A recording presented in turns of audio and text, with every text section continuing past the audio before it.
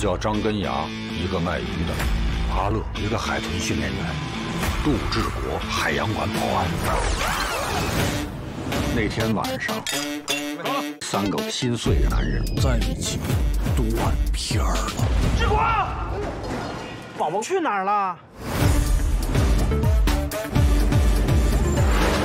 我们是要找一条海豚，叫宝宝。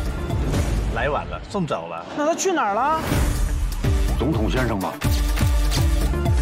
我要看到最好的海豚表演。是，总统大人。